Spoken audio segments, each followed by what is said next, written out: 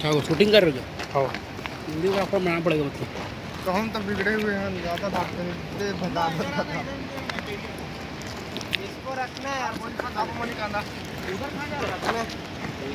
उसको? कहाँ बैग चल रख क्या? देखा।